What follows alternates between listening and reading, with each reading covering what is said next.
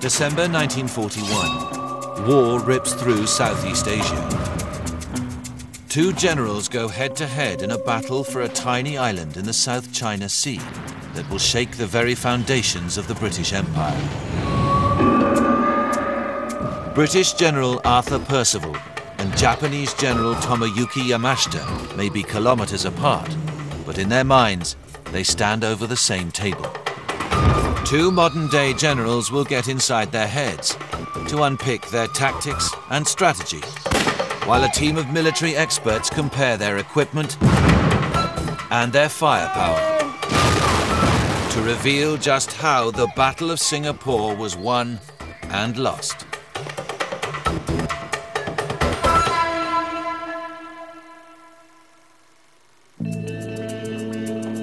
December 7th, 1941. Japan is about to enter the war with a bang. She plans to attack the Americans at Pearl Harbor and invade the Philippines and British colonies in the Far East in the same night. Her ultimate goal, to push the Western powers out of Southeast Asia and grab its rich natural resources. The man chosen to lead the Japanese invasion of British-held Malaya and Singapore is General Yamashita. He is an unusual figure in the Japanese military. He wasn't the traditional Japanese general. He didn't fit into the box in a, in a comfortable way. He was questioning. He wasn't part of the, of the uh, establishment, if you like. Um, and therefore he was, an odd, he was the oddball out. He was too clever by half. Major General Julian Thompson is a former Royal Marine commando. He is fascinated by Yamashita. He was the son of a village doctor. He went to a military academy to get an education. So he's not from the traditional aristocratic Japanese background. And he's actually a quite senior chap before he starts uh, battle fighting. When he's actually confronted with battle, he's out there leading from the front. And this I think is very good preparation for what he's about to do. Yamashita wants to kick the British out of their wealthy colonies in Malaya and Singapore. His plan relies on speed and surprise, so he will travel light with a slimmed-down army. He is offered four divisions, but decides to launch his attack with just two. An indication of his intelligence as a general was he resisted the temptation to have more just in case because he knew that it would create a great strain on his logistic resources and might end up in disaster because he was actually half starving everybody in order to cover the whole lot. As Yamashita plots his first move, his adversary takes charge in British Singapore, the newly promoted Lieutenant General Arthur E. Percival. Singapore, I think, was probably one of the more exotic and the more comfortable of the imperial stations. When he was told that he was to be promoted lieutenant general, uh, he must have thought, great, this is marvelous. Singapore was golf, tennis, bridge, the club in the evening, the sundowners, uh, wonderful. Lieutenant General Sir Alistair Irwin is a top-ranking British general with many overseas postings under his belt. And then he thinks to himself, hang on, Singapore. This is either going to be something where I'm going to be drinking gin for the next two years with nothing happening at all, or it's going to be a, a, a pretty difficult business. Percival fears the island may prove a tempting prize for the Japanese, but he is up for the fight. He's already proved himself in World War I and against the IRA in Ireland. Nobody doubted his courage and his character when things were rough. A man who knew his business. I think that generally speaking, he was thought to be a, a, a, what we might in Britain call a good egg. But he does, in appearance, not exactly fit the mold of what you might think a sort of commander uh, might, might look like. And instinctively, soldiers follow people who look good people who just look the part. And I think that that was a, a, a, slight Achilles heel of poor old Percival, that to put it bluntly, his mother and father didn't do a great job on the design.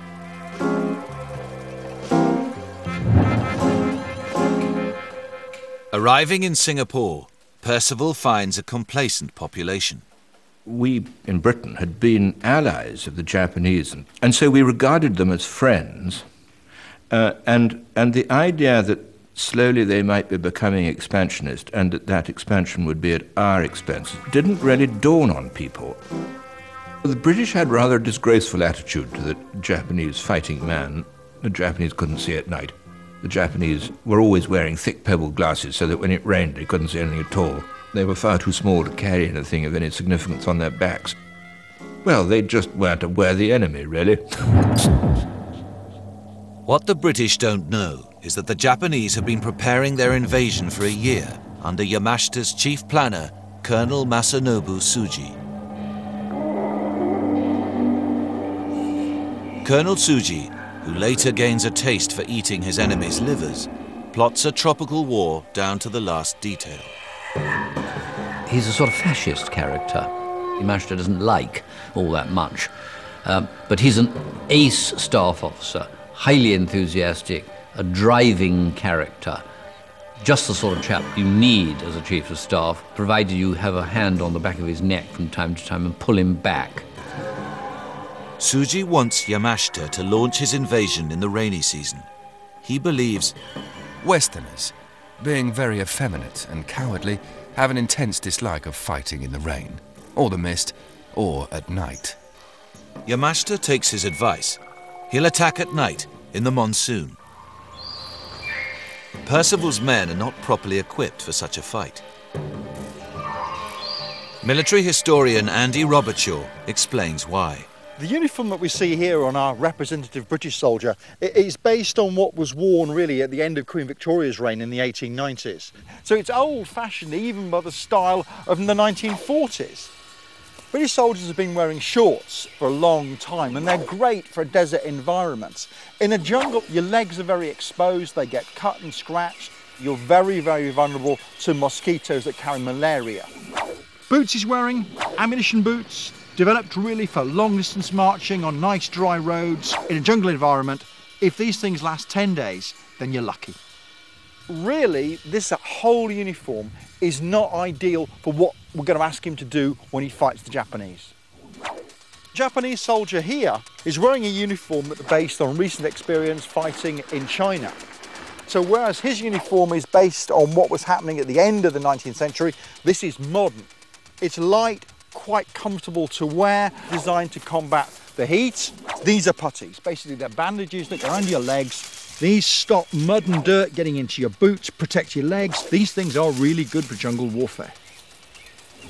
Frankly, we couldn't cope with this level of sophistication. We had nothing to match the Japanese.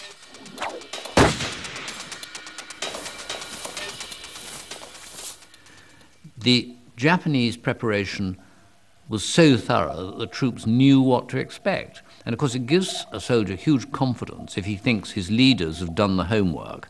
And when he arrives there, it's exactly as he's been told it's going to be. But Yamashita's plan is still fraught with risk. He wants to put troops ashore in neutral Thailand and British held Malaya at the same time. His air force will attack British airfields and destroy Percival's planes. Yamashita will use the captured bases to launch his own bombing raids. Then he will push his main force 800 kilometers down the west coast of the peninsula to attack Singapore Island, the key British naval base in the Far East. On the eve of the invasion, Yamashita writes a poem in his diary. On the day the sun shines with the moon, our arrow leaves the bow. It carries my spirit toward the enemy. With me are a hundred million souls, my people from the east. Percival gets wind of Yamashita's force heading for Thailand.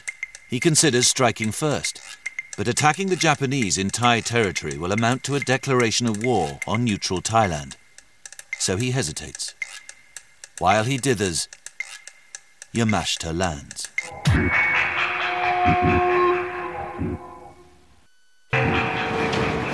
Yamashita comes ashore with over 20,000 troops in neutral Thailand, fights off the Thai military police, and quickly heads south to the Malay border. Yamashita felt no compunction about invading through a neutral country. I don't think that was rated very high on the, on the Japanese radar. But his attempt to land another strike force in British-held Malaya immediately hits trouble. Here his men face soldiers from the British Indian Army, who are defending Malaya alongside regular British and Australian troops.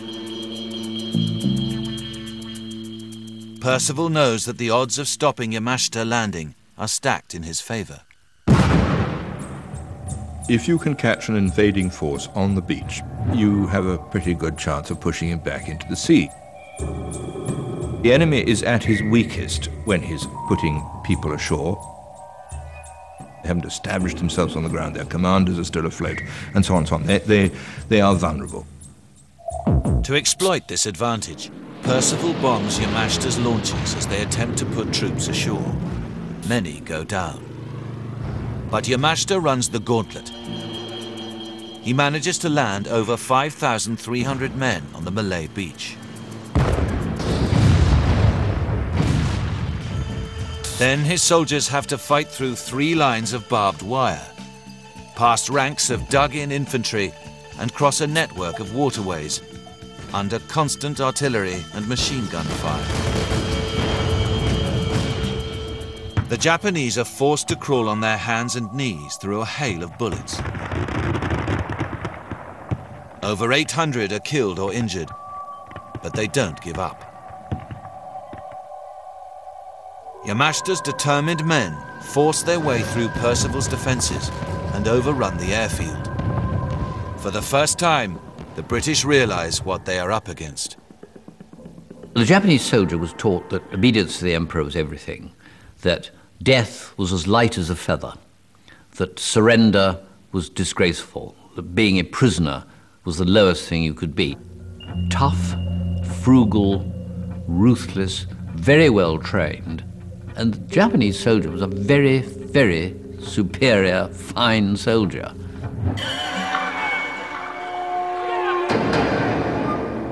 Despite his heavy losses, Yamashita's plan is on track. Now he has captured his first airbase, he opens his bid to win the air war. Yamashita has twice as many planes as Percival, and it isn't just a matter of quantity, but of quality. Well, he had the Zero, uh, which was a very fine fighter and was probably, in its time, the best fighter around. His pilots were experienced, they'd fought in China, and so he had a huge card in that, in that sense. General Percival is at a distinct disadvantage. The Royal Air Force had quite a large fleet of very second 11 aeroplanes which had been procured during the interval between the First and Second World Wars and which really weren't fit for any kind of service other than just sort of looking good on flying displays. All that wouldn't have mattered if the Japanese themselves had had old-fashioned aeroplanes, but they didn't. Yamashita uses his superiority in the air to launch attacks on other British airfields in northern Malaya. He drops bombs designed to damage aircraft and kill soldiers, but which leave the runways intact so he can use them later. Within four days, Yamashita captures all the airfields in northern Malaya and destroys most of Percival's planes.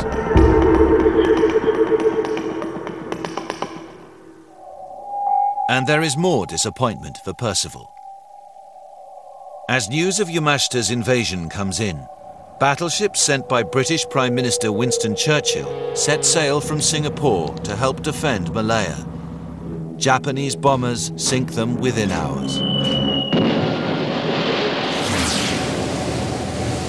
With the Navy and Air Force decimated, the defense of Malaya now rests solely with the Army. General Percival has two choices. Pull his troops out of Malaya, abandoning the people to their fate, and regroup to defend Singapore. Or fight every inch of the way for the Malayan Peninsula. Malaya uh, had great importance to Britain. It, it had two particularly vital commodities, rubber and tin. This was not just a stretch of jungle. This was a, a, a highly productive, highly desirable stretch of territory.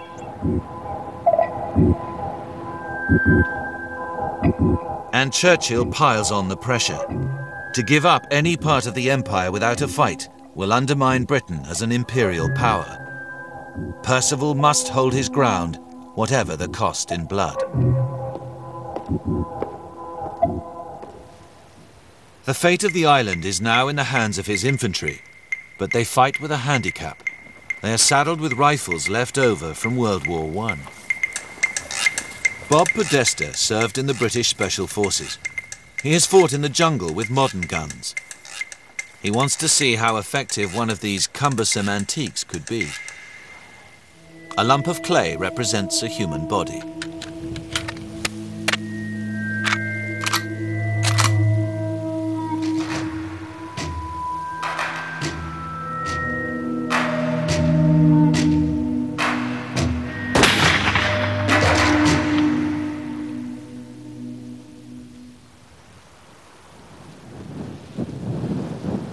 Straight through. As you can see, you've got a nice, neat um, entry where the bullet has entered the body, okay?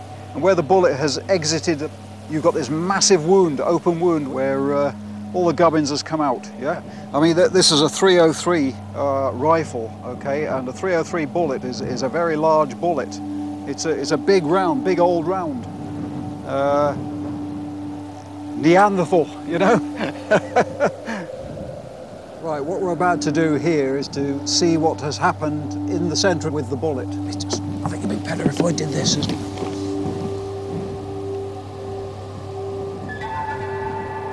can see where the bullet has uh, entered the body, look, and it's caused this massive amount of damage.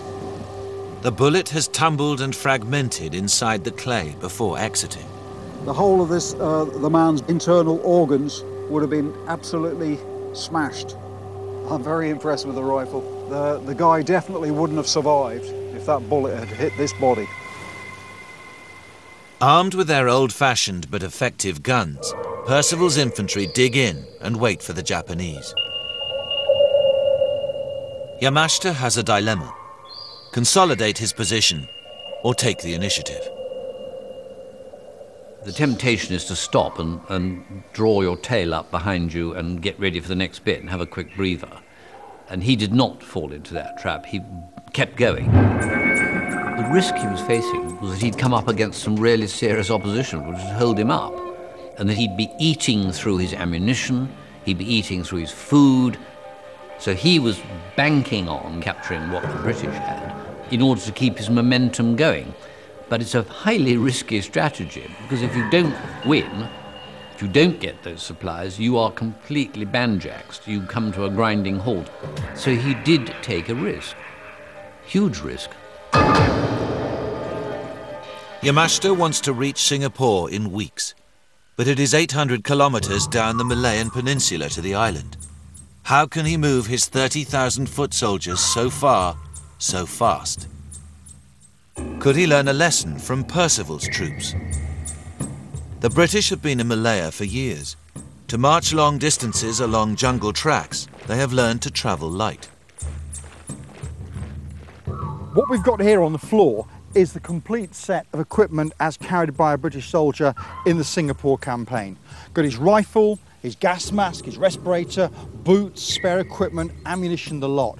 The whole lot they suggested should be about 18 kilos, no more than that. And in fact, this is 18 kilos in water bottles.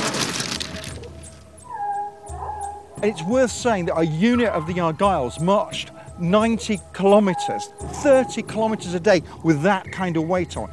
In fact, if we put my volunteer here into 18 kilos of real weight, on it goes, buckle it all neatly into place, give you your gas mask, your respirator, on it goes like that, and then give you a rifle to go over your shoulder, you should be able to march through jungle. And in this case, um, this is our jungle, and you're going to do not 90 kilometers, you're going to do just a brief section. To try it out. On you get.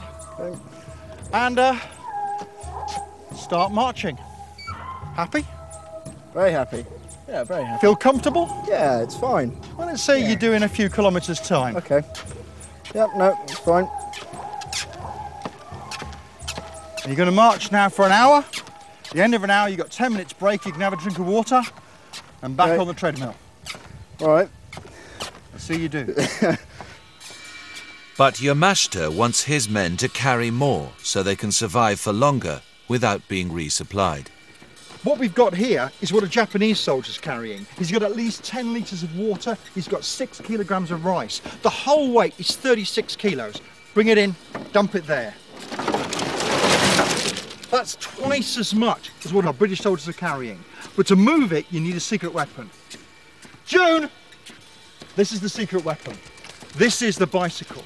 The Japanese had two divisions, that's 30,000 men, and in those two divisions they had 12,000 of these. That means that you can carry vast amounts of weight. Downhill you can cycle, uphill you can push them. It's not a problem. Kate, you happy? With 12,000 troops on bicycles, Yamashita plans to storm down the Malayan Peninsula in weeks. Speed and surprise was the key. Yamashita's infantry was so good at keeping the momentum going using bicycles that he was able to have a sort of foot equivalent of blitzkrieg. Bicycle blitzkrieg, yes. The British are left floundering by the freewheeling Japanese.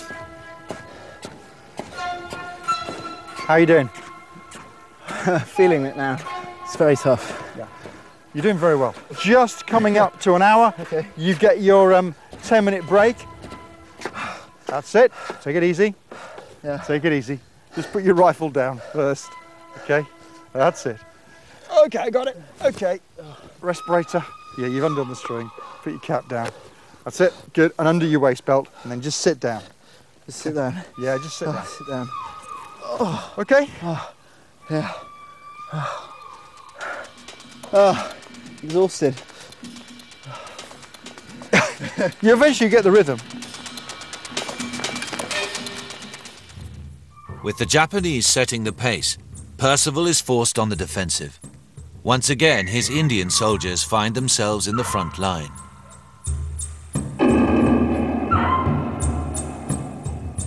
Percival orders them to dig in and defend the road down which the Japanese are pouring south. It is a strong defensive position. It should hold out for weeks. The young Indian recruits expect an infantry attack, but the Japanese have another surprise in store. Tanks. Imagine the scene monsoon rain absolutely pouring down, and suddenly down the road comes this well, you can hear it from a distance amongst the rain, the clanking of the tracks, and the squeaking of the turret. And suddenly they're there, and they're going through you. You know, it's not a happy position to be in. It's not surprising people began to wonder what was going on, wonder what to do next. As the Japanese tanks charge ahead of Yamashita's bicycle army, terrified Indian soldiers break ranks and flee into the jungle. You, as a young man from the Punjab, are sitting in a jungle in Malaya with the monsoon rain pouring on top of you. You haven't had sleep for four days. You've been shot at. You've been bombed from the air. Your officers have been killed. You need to be a pretty sophisticated young man to say to yourself, hang on, I'm here for a real purpose here. The Japanese were not expected to have tanks. They were hopeless, pathetic tanks, but they were more than equal to the task because we had none. The British had no tanks. Very dismaying. They were very upset about the tanks. Percival has not got any tanks because the chiefs of staff in London thought they would not work in the Malayan terrain. Now, with his troops fleeing into the jungle, he is forced to withdraw. He has lost the first major land battle. To hold the enemy up, Percival orders his engineers to blow up steel bridges in Yamashita's path. But with stocks of British explosives falling into Japanese hands, they need to find a method that makes their dwindling supplies go further.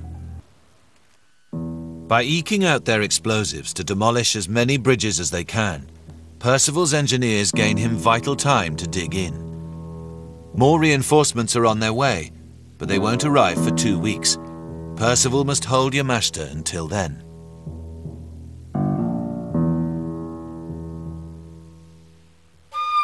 The ace in his hand is his superior artillery. At Kampar, halfway down the Malayan Peninsula, he finally manages to get his big guns into a defensive position and trains them on Yamashita's charging army. For the first time, General Percival is calling the shots. With the help of his artillery, he holds up the Japanese blitzkrieg for six days. Yamashita is outgunned and outnumbered. His chief of staff recommends pause, bring up more people, and then mount a set piece attack. You know, hey, what we used to call hey diddle diddle and straight down the middle, like that. He doesn't want to do that. Percival's artillery is well dug in among the hills of Kampar in central Malaya. Yamashita decides not to wait for reinforcements, but to immediately employ the Scorpion maneuver. He sends one column forward to grip the British in its claws. Then he sends another column through the jungle to attack them from behind. This is the lethal sting in the Scorpion maneuver. And it totally banjaxed and threw the British who hadn't come across this sort of tactic. It was cheating. What he was attacking was the psychology of the enemy. And, and, and, he, and the enemy, the British, were surrendering or giving up when they were outnumbering their enemy by 10 to 1. They, they, had, they had mentally run away from the battle. Yamashita writes this entry in his diary. New Year's Day, 1942. My duty is half done, though success is still a problem. I would like to achieve my plan without killing too many of the enemy. With the loss of Kampar, Percival is caught between a rock and a hard place. His frontline troops are disheartened and exhausted. Thousands of bewildered and injured soldiers flee into the jungle. Whole battalions are wiped out.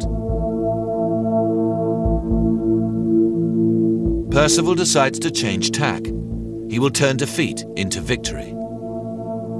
Tactical operational withdrawals can be very sound military maneuvers. They can be uh, uh the precursors to victory.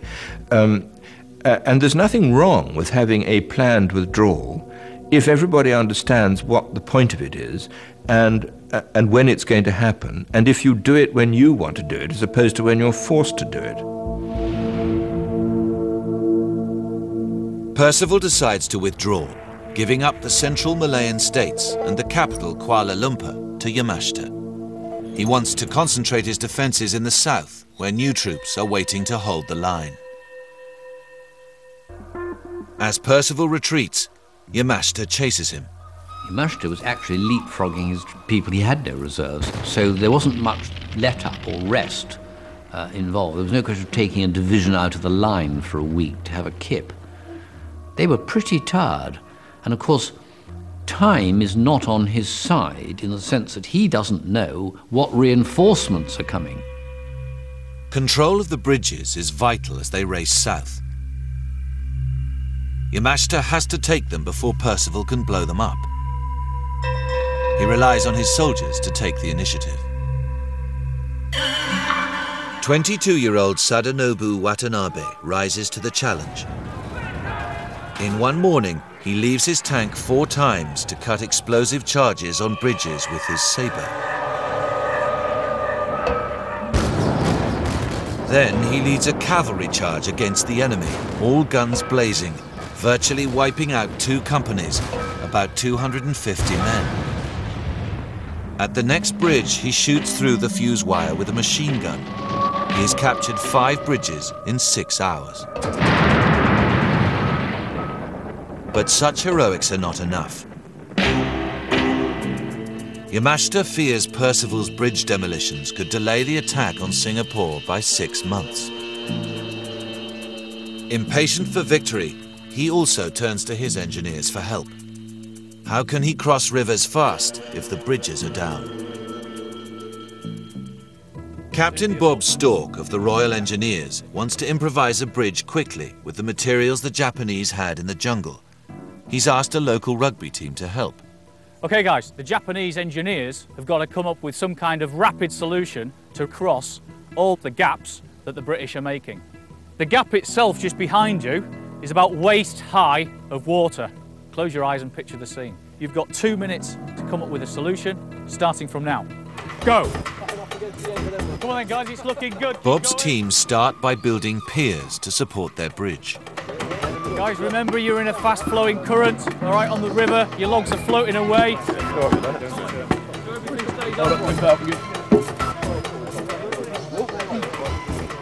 It only takes 15 minutes, but it's not quick enough. In a fast-moving battle, every second counts. Okay, well done. That was very, very good, okay? But it was over time and it was over engineered. The The Japanese come up with a novel way to speed up their work. They use humans as bridge props. The ways the Japanese did it was just using the engineers, the actual sappers, as the piers themselves. So what we want to try and do is lash two of these logs, the large logs together. Once they're actually lashed together, we're going to pick them up on our shoulders and then position ourselves in stream. And we're going to do that in two minutes. Right, let's go. Come on then guys, let's show it, we can prove it.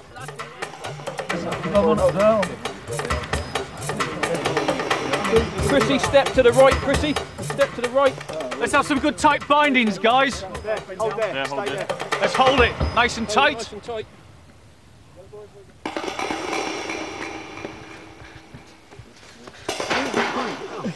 Hold it. Take the pain and hold it. Hold it. Boys, hold it, boys. Come on, Jono, back straight. Hold it. Okay, guys, that was two and a half minutes. Well done. Good teamwork. Okay, well done. Thanks. Improvising like this, Yamashita crosses river after river. Soon only a thin line of Percival's defenders stands between him and Singapore Island. Now Percival's Australian troops enter the fray.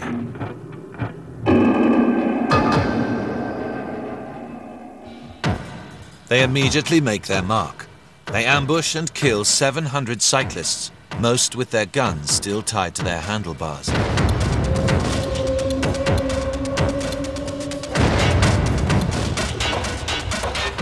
It is a good start.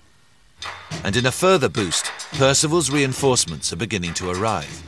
When you send troops to a new theatre of war, it's terribly important to give them time, literally, to acclimatise. But it wasn't like that in Singapore. Percival's new recruits are thrown straight into battle with no time to adapt to fighting and surviving in tropical conditions. Some pay a heavy price.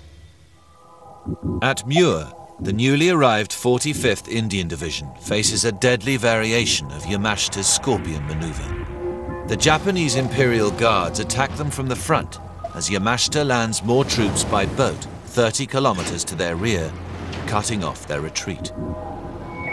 The 4,500 strong brigade is wiped out. Only 900 men manage to escape through the jungle to safety. Now, Yamashita's fanatical soldiers reveal a darker side. His imperial guards torture captured enemy soldiers and then massacre them, cutting off their heads with their samurai swords. It is one of several atrocities where Yamashita does not step in to punish his troops. If soldiers get out of hand, they need to be brought back underhand very sharply and very quickly, and he had the power to do it. In the Japanese army, you could have a chap executed just like that.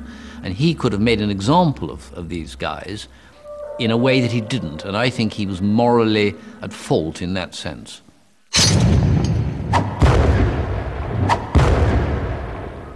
A worried Percival writes to his superiors. January the 26th, 1942. Consider general situation becoming grave. May be driven back into the island within a week.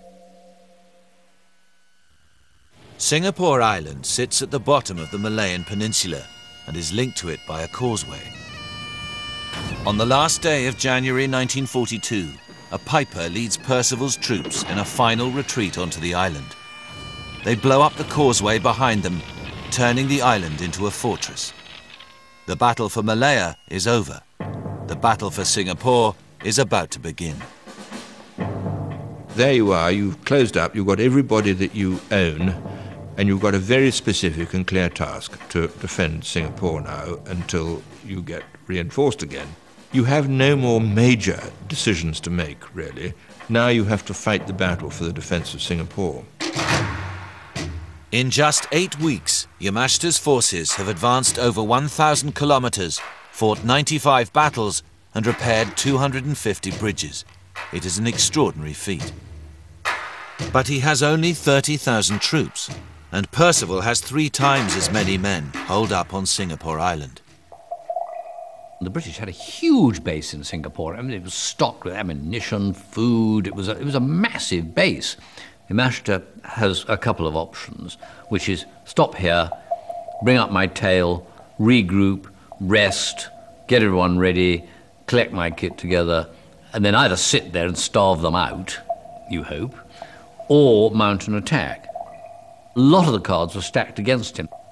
So it's a formidable undertaking.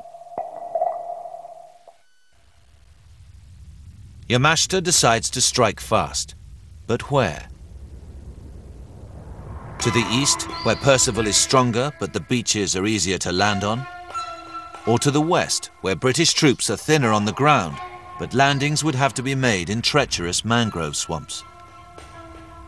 The mangrove swamps had all the elements of potential disaster because of the inability to control what's going on with guys wandering around in the mangrove in the dark being fired on. All the elements of potential disaster are to land in the mangrove swamp. It's the most difficult thing to do. It's the least obvious thing to do. Therefore, it's the right thing to do. Yamashita decides to launch a diversionary attack to the east to confuse Percival. Then send his main force across the straits in small boats to attack through the thick mangrove.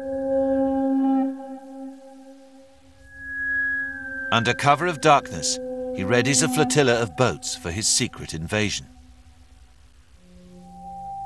Percival is daunted by the challenge facing him. How was he going to defend Singapore against uh, an attack uh, from a direction that he couldn't possibly predict with certainty?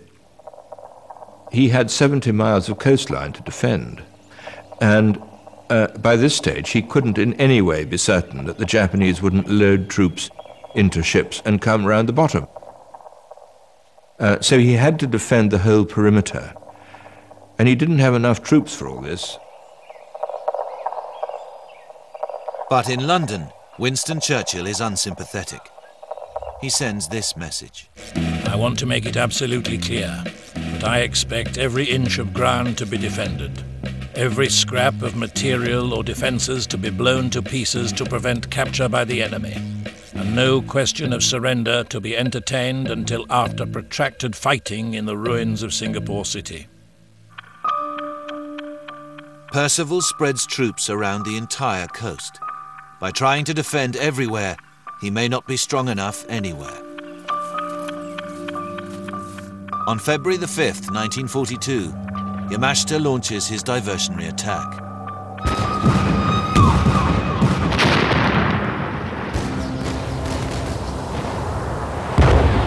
Then, while Percival is distracted, he mounts his main invasion, sending his boats across the Johor Strait under cover of artillery fire. Within an hour, Yamashita's troops have come ashore to surprise the defenders in the mangrove swamps. The British are overwhelmed and begin to fall back. Yamashita pushes on towards Singapore City. Again, the Japanese have, have got inside the decision loop, have totally discommoded the British and are rampaging towards Singapore City.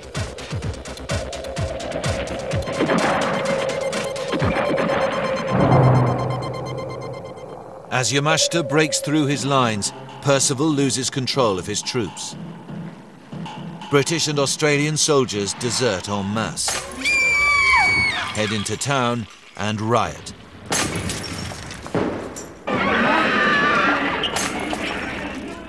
Civilians flee in boats as fast as they can. There is panic, chaos and confusion. Percival considers surrender, but Churchill is adamant. There must be no thought of saving the troops or sparing the population. The battle must be fought to the bitter end at all costs. Commanders and senior officers should die with their troops. The honour of the British Empire and the British Army is at stake. These are the sort of messages that, if they were going to be said at all, would have you know, been opening gambits, the sort of battle cry at the beginning of the campaign, you know, really charging people up with the notion that they're going to be victorious from the outset. But by this stage, even the most optimistic people know that the game is up. Percival is on the ropes, but Yamashita is also worried. He is running out of bullets and fears a street-by-street fight for Singapore City which he might lose. It's not a totally foregone conclusion. He is clever enough and, and wily enough to recognize that. You know, he's not stupid. All the time, he's thinking, maybe they're going to pull something off. Maybe I'm going to run out of ammunition. And my guys are going to get massacred or, bled white fighting in a built up area. Percival attempts to counterattack with tired and confused Australian troops. The attack fails.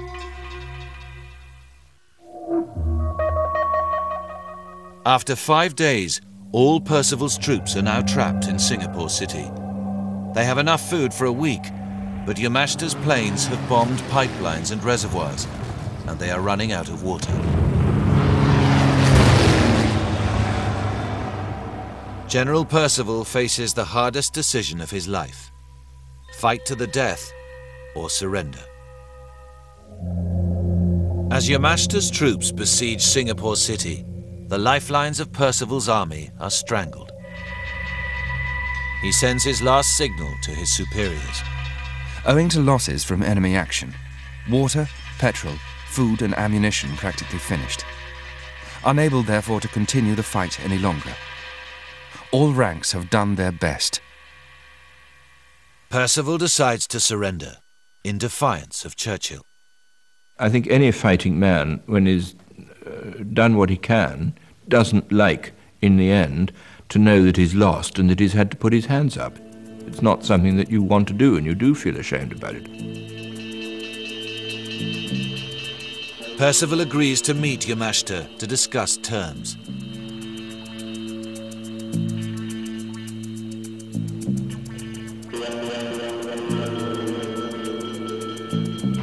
Now, Yamashita needs to pull off one final bluff. At the end, he was down for the, to the last few rounds. I mean, he was actually balanced on a knife edge. He thinks that when Percival comes uh, suggests surrender, that Percival is going to demand his surrender. At the negotiations, when Percival is sort of havering and trying to sort of cut deals, he says, "Are you going to surrender or not?" inside, you can just imagine the tension building up. Are these guys going to talk me out of it? And so he's got to bring this to a stop. This hard, large, overbearing guy who's saying, give in or we'll just wipe you off the face of the earth, must have been quite alarming. It's very interesting to speculate what would have happened had Percival said, well, I'm not going to surrender, you better fight for it. Now, Percival is surrendering at the end of his first and only senior command in battle. he will have been uh, internally wondering what he did wrong, what could he have done better to have stopped it. Poor man must have been dismayed that he had lost Singapore for Britain. After an hour, Percival signs an unconditional surrender. Yamashita has taken the island and the whole of Malaya with the loss of only 9,600 men. The Japanese fete him as the Tiger of Malaya. His morals may be questionable, but his generalship is not. It was a fantastic achievement, in my view. I can't think of any mistakes or bad decisions that Yamashita makes uh, throughout the campaign. I mean, it's a faultless performance. I, I really can't think of, of any mistakes that he makes, actually. Churchill calls it the worst disaster and the largest capitulation in British history. 120,000 British troops are killed or captured. Percival clearly did make mistakes, but show me a general anywhere in military history who does not make mistakes, and I'll show you someone who's got delusion. Because, eh, you know, we all make mistakes, generals, all the time. And it's certain that a different general would have done it differently. Would the outcome have been substantially different? Who can tell? General Percival spent the rest of the war as a captive of the Japanese before returning to a quiet life in England. General Yamashita went on to fight in the Philippines. After the war, he was tried for atrocities committed by his soldiers. He was found guilty and hanged.